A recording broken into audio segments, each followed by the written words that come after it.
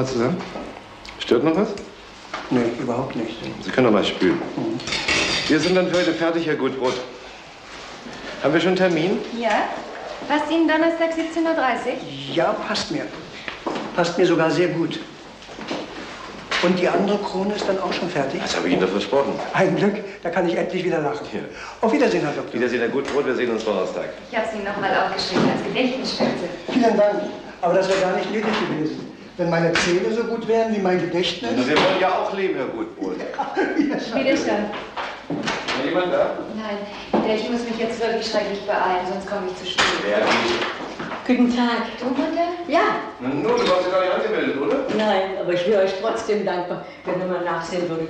Ich habe gerade Mittag gegessen und zum Nachtisch, da gab es... Nusstorte. Nein, Kirschkuchen, ausgezeichnet. Aber in der einen Kirsche, also muss ein Kern drin gewesen sein. Und seitdem habe ich das Gefühl, hier unten links. Also da Setz dich fehlt mal hin. Ja. Dieter, Ja, die ist schon. Ich bin schon allein fertig. danke, dein Essen steht warm, ja? Entschuldige bitte, Mutter, aber ich muss ganz schnell weg. Wiedersehen. Vergiss nicht, deinen Termin auszumachen und schreib ihn noch ein, ja? ja wieso denn? Du, was ist, warum ist sie denn jetzt weg? Sie nimmt einen Englischkurs. Was, ein Englischkurs? Englischkurs? Um diese Zeit. Jeden Dienstag und Donnerstag. Ist sie denn dann bis vier wieder zurück? Nee. Aber wer, oh, wer hilft dir denn dann in der Praxis? Frau Berge. Dann kommt nächste Woche wieder. Ah, Entschuldigung. Die war doch schon mal bei mir. Ganz ruhig schlafen, ist alles bestens organisiert. Aha. Auch noch beleidigt. Ist ja genau wie bei Michael. Da darf man auch nicht den Mund aufmachen. Ja, bei mir schon.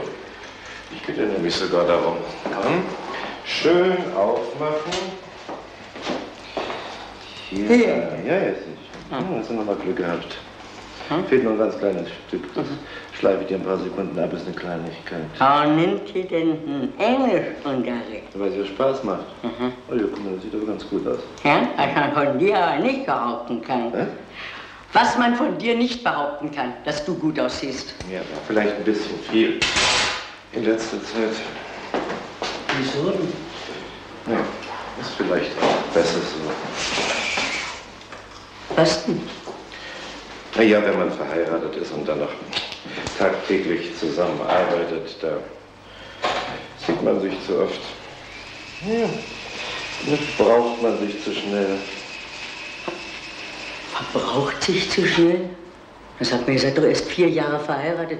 Bist du denn auf diesen Blödsinn gekommen? Ilse etwa? Nee, das habe ich mal irgendwo gelesen. Wahrscheinlich in der Illustrierten. Also so ein Unsinn. Entweder stimmt eine Ehe oder sie stimmt nicht. Kann euch aber genau sagen, was euch fehlt. Ein Kind. Das ist, wenn man heutzutage Kinder in die Welt setzt. Hm. Bei der Zukunft, die sie haben. Ist das dein Ernst? Du wolltest doch immer Kinder haben, schon als kleiner Junge. Wir sind fertig, du kannst noch mal spüren. Sag mal, das sind ja Ansichten, die du plötzlich entwickelst. Also wirklich, wenn dein Vater mir früher sowas gesagt hätte, oh, ich hätte keinen Englischkursus genommen. Wäre ihm glatt weggelaufen. Jetzt nimmt ja auch gar keinen Englischunterricht. Was denn dann? Auf jeden Fall kein Englisch. Das verstehe ich nicht. Ich auch nicht. Dieter, ich bitte dich, hör einmal auf, da rumzufummeln, ja? Woher weißt du, dass Ilse keinen Unterricht nimmt? Weil ich in der Schule angerufen habe. Ich muss die Ilse dringend sprechen wegen eines Patienten. Na und? Die kannten doch gar keine Frau Rogalski. Was hat denn Ilse gesagt? Ilse? Na ja, als du sie gefragt hast, wo sie zweimal in der Woche ist. Frag doch nicht, wenn sie mir nicht von alleine sagt. Da bin ich aber ganz anderer Meinung. Da werde ich mich mal sofort drum kümmern. Das musst du nicht tun. Misch dich nicht in unsere Angelegenheiten. Na, bitte. Bitte. Gleich es euch manchmal sehr gut bekommt, wenn ich es tue. Wann kommt denn Ilse nach Hause? Spät? Ja. Gegen sieben. Wie sieht sie dann aus? Eigentlich vergnügt. Glücklich. Auch kein sehr gutes Zeichen. Willst also wirklich nichts tun? Nein. Sie wird schon von alleine kommen, mir alles erzählen. Immer wenn man weiter arbeitet. Schanitzky. Ach, du bist Ida. Was gibt... Was? Nee, störst mich nicht beim Armbrot. Sind meine Stecknadeln. Was gibt's denn du? Ich bin nämlich wirklich gerade beim Abstecken. Was soll ich? Also das verstehe ich jetzt nicht. Ich soll Menschen nachspionieren? Das kommt überhaupt nicht in Frage. Ida, nein, Ida, ich kann sowas nicht. Du solltest das auch nicht tun. Misch dich doch nicht dauernd in die Angelegenheiten deiner Kinder. Ida, ich mein's doch wirklich nur gut. Aufgelegt. Auch noch beleidigt. Alberne Anstellerei. Den könnte ich jetzt anrufen. Auch das noch.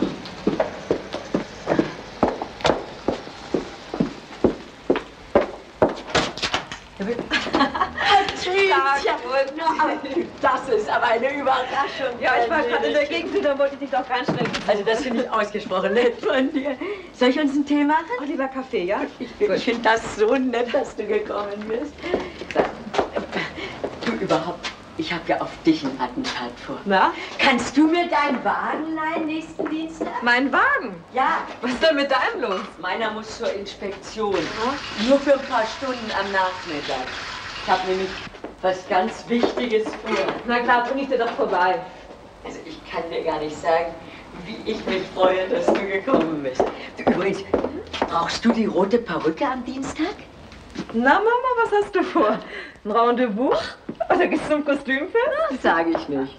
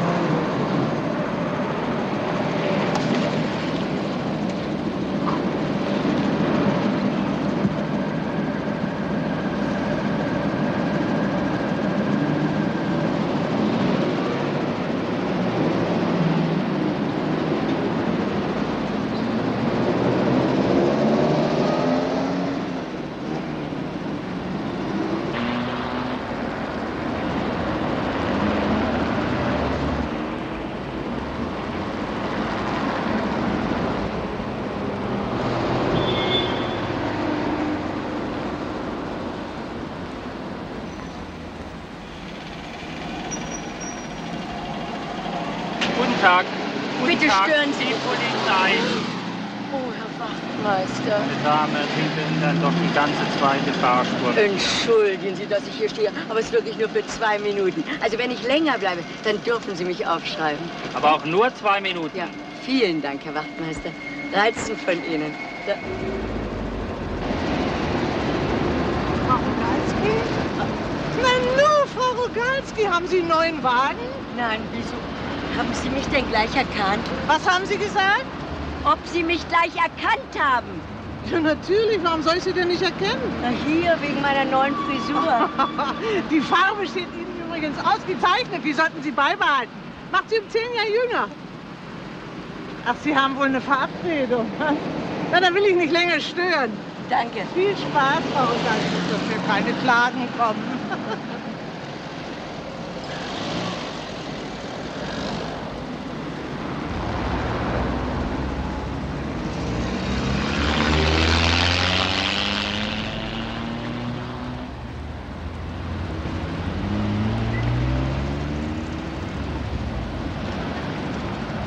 Herr Wachtmeister, die zwei Minuten sind noch nicht um. Ich weiß, ich weiß, aber Ja, eben aber- sah das so aus. Und hatten Sie nicht eine ganz andere Frisur? Ja, eine andere Perücke, aber das ist doch nicht strafbar. Oder? Strafbar nicht, aber verdächtig. Ach, das finde ich nicht, Herr Wachtmeister.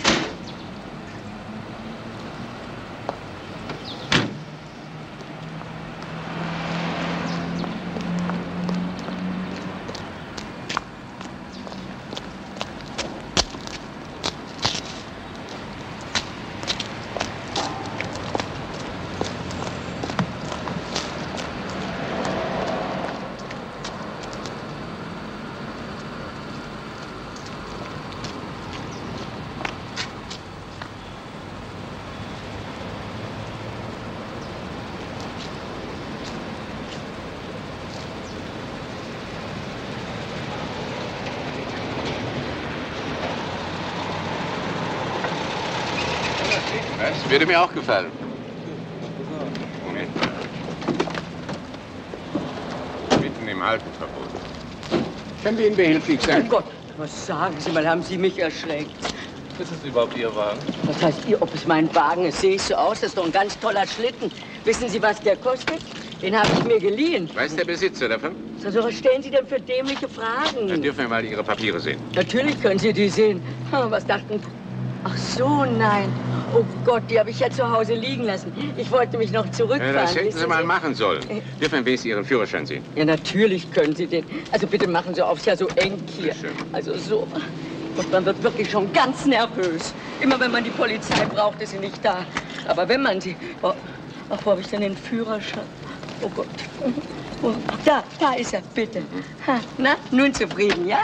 Sie wollen doch nicht etwa behaupten, dass Sie das sind. Natürlich bin ich das. Ich glaube, Wer- wir unterhalten uns am besten anderswo weiter. Was bitte, heißt anderswo? Bitte Ihre Schlüssel. Wieso meine Schlüssel? Ja, kommen Sie. Sagen Sie, was Bitte steigen fällt Sie Ihnen ein. ein? Lassen Sie mich los. Ich, ich habe doch nur eine Perücke auf. Das bin ich. Bitte Ja, sehen Sie sich ja. doch das Bild mal genau an.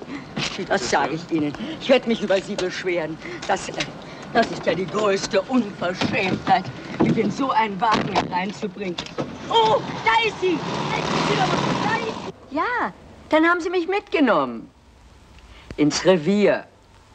Nein, Trutchen, Sie waren sogar ausgesprochen nett zu mir. Es hat nur ein paar Stunden gedauert, bis sich alles aufgeklärt hat.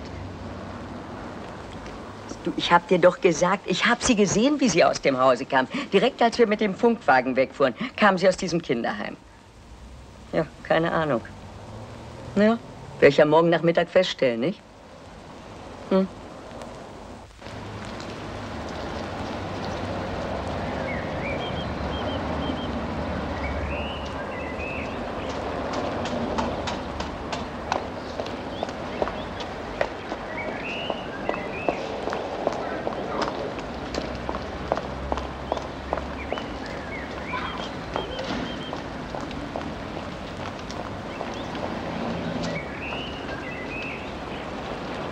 Entschuldigen Sie bitte, aber ich habe meine Schwiegertochter hier hereingehen sehen. Also eben vor einer Minute. Mein Name ist Rogalski. Rogalski. Ah ja, den Gang lang, die zweite Tür. Hier? Vielen Dank. Zweite Tür? Sie sind im Garten. Danke.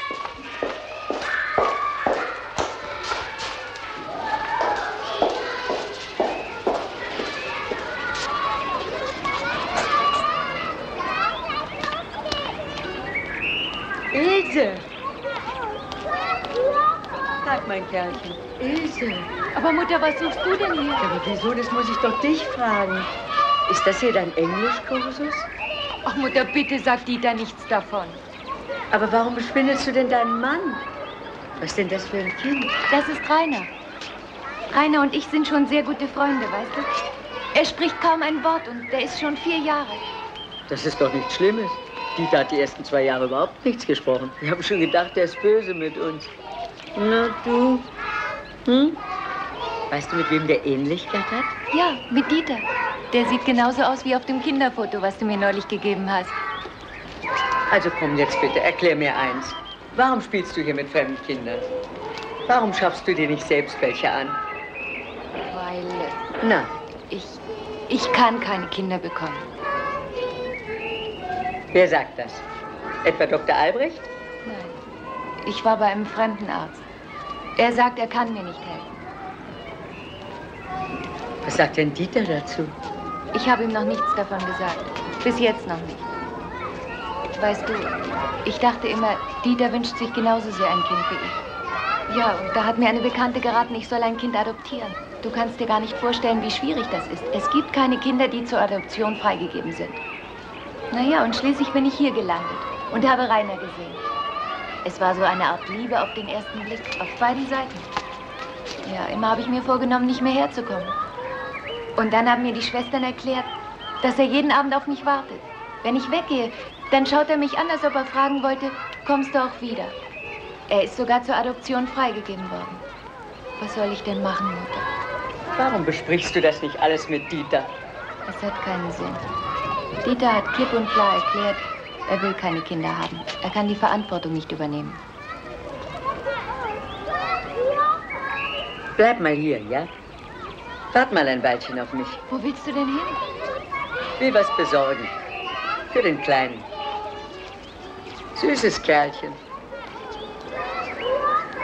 So, bitte spülen. Heute sind Sie erlöst, Herr Friedrich. Wir sehen uns am Dienstag wieder. Ach, die Aufnahme, Herr Doktor. Ach ja, richtig. Wir wollten ja zur Sicherheit noch ran. Würden Sie sich bitte hier hinsetzen, Herr Friedrich? Unten links zwei und drei Stockwerke. Ich weiß. Machen Sie mal bitte auf. Danke. So, und drücken Sie mit dem Zeigefinger dagegen. Das ist nämlich ganz schön. Kommen Sie zurecht? Keine Angst, Herr Doktor, ich habe nichts verlangt. So, jetzt geht's los. Passen Sie Dieter. nicht verstehen. Dieter, du musst sofort mitkommen. Ist was Das passiert? erkläre ich dir später. Bitte zieh dich an. Ja, Mutti, das ist doch unmöglich. Entschuldigung. Dann also bis Dienstag, Herr Doktor. Um 16.30 Uhr. Wenn Sie vorher Schmerzen bekommen, dann rufen Sie sofort an. Darauf können Sie sich verlassen. Schönen Dank. Auf Wiedersehen. Herr Wiedersehen, Herr Doktor. Friedrich. Komm, zieh dich an. Das geht doch nicht im Badezimmer sitzen noch zwei Patienten. Ach was, dann schick sie doch nach Hause. Oder sag eine dringende Operation. Mutti, ich kann doch nicht... Das macht doch Frau Berger nicht. Übrigens, guten Tag. Ja, hören Sie, Ihre Ehe bekommt ihn aber. Bitte sagen Sie drüben Bescheid. Ich weiß nicht, ob das so ohne... Ja, so gut.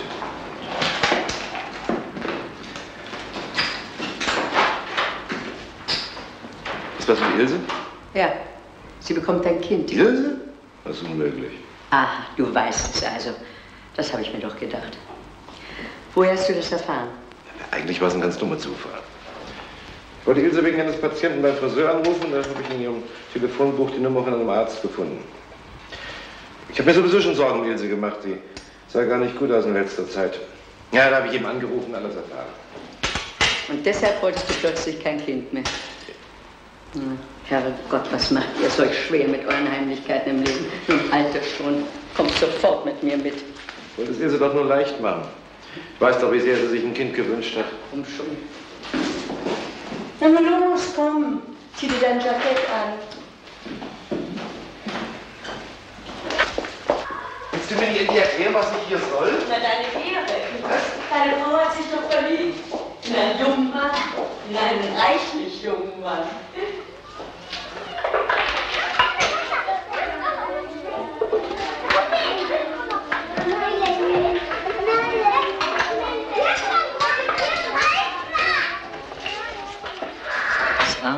Rendezvous deiner Frau. Zweimal in der Woche. Na, geh schon.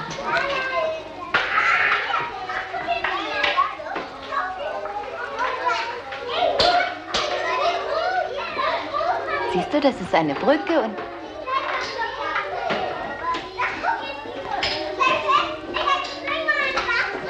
Ne? Wie heißt er denn? Das ist Rainer. Keine Angst haben. Rainer, guck doch nicht so ernst. Willst du mit zu uns kommen?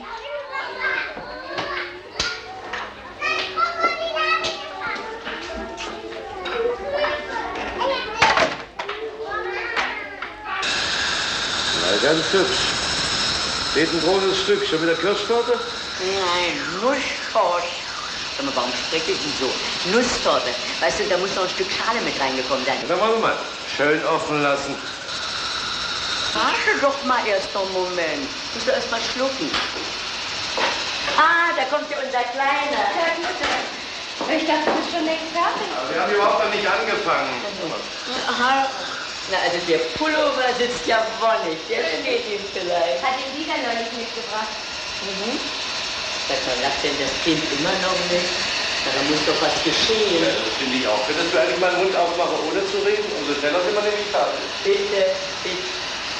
Ja, aber nicht solange das Kind da ist. Was sollte der von seiner Omi denken? Angst kann kein Übermensch.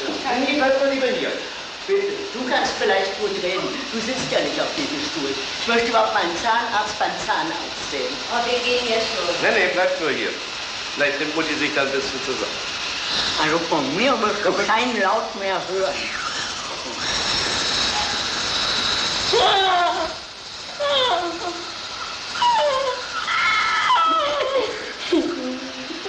Der lacht. Du, der lacht. Lacht über seine Omi.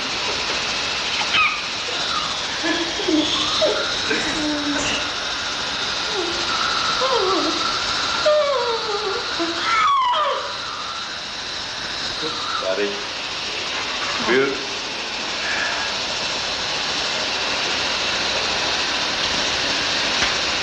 Oh, war das grässlich.